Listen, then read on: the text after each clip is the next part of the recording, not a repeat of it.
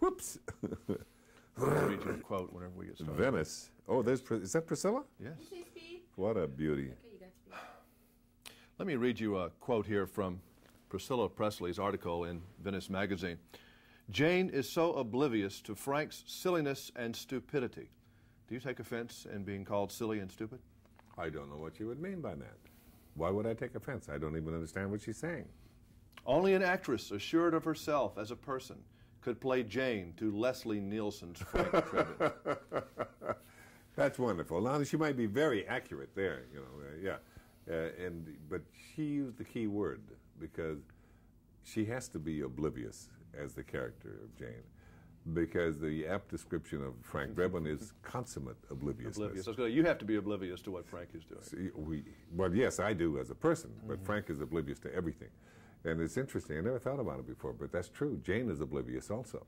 Let me tell you, I'm a hard laugh. I mean, I'm like having a bunch of morticians in the audience. I, I'm laughing on the inside, but I'm not a great laugher on the outside. Yeah. I laughed a lot, and I laughed more in this one than I did uh, really since Airplane. Airplane's the last one that really got me rolling on the floor, and it still does. When I see the guy run by saying Annie M and all that in the control tower, Yeah, yeah, I still laugh, and I've seen it 50 times. Yeah. But uh, this movie really, I think, may even be better than the first one, and that's quite a statement. Well, you you see, we secretly believe that too. We think, as when we were shooting it, we felt it was better than the first two. But you know, you can feel that, and it's not until it gets out until I hear you say. it. But I've seen so many copycat Naked Gun airplane movies lately Yeah. in the last three or four years that have been really pretty awful. And it really is amazing that you guys seem to be the only ones who have the formula now. Even parts of this team go off and do things, and they almost hit home runs, and they do okay, but not quite ever what the airplane and the Naked Gun series can do. I mean, do you know when you're out there, you're hitting a home run? Well, I felt we were hitting a home run, uh, n- not knowing as well then as I do now, because when I, you know, the the talents involved in putting the films together uh, are really superior. They're tremendous. Uh, you know, David's uh, f- flair for comedy and his knowledge of comedy is, uh, you know, just one in a million. He's one of the best directors. Then to have the luck of finding Pete Segal and to work with him as a young director who is. Uh, who did a monumental job actually directing by committee because he had a lot of people who were telling him what to do. And uh, to have his talent shine through and then on top of it do it with such diplomacy and good nature, you know, is, I, I'm looking forward to hopefully to working with him again Does laughter ever stop the take? uh, sometime. But of course, you know, in movies, you you know, it, you can't have laughter while you're doing the shot. Right. The, we're doing it to make the audience laugh, not ourselves.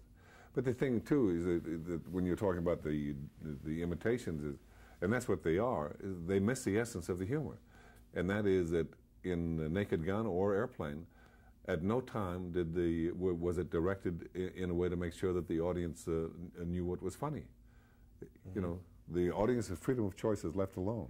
The actors behave in a way that not for one second are you aware that they may be thinking that they're doing something funny.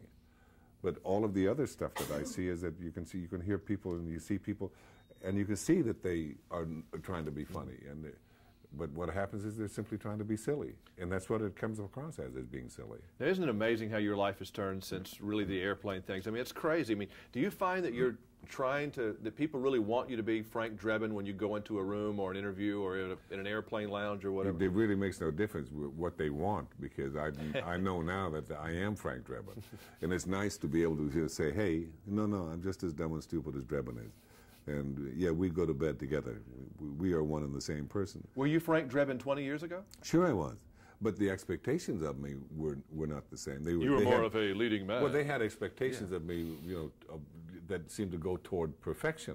Mm-hmm. You know, I always looked like I knew what I was talking about, and I always looked like just standing there that uh, that uh, that I knew what I was doing, and so people expected me to behave in a certain way, Mm-hmm. and they didn't give me any leeway for any imperfection. Drebin has saved me. I'm free now to be a, to be a lunatic and, and to be uh, you know kind of insane. I'm free. You know, Drebin has helped to free me as a person. Well, that sounds like some kind of a speech you'd give on the mall in Washington. you could do it, yeah. that yeah Frank but it is Drebin true. has freed yeah. you. See, you, may, you may be in the long run when we do this kind of thing that that's uh, and select an occupation. You know, I think I may have found out one of the reasons I became an actor. That's true. Well, nice Yeah. seeing you again. Thank funny, you. funny, funny, funny movie. Lord, I'm we need to laugh, so it's Thank great. you. Thank you.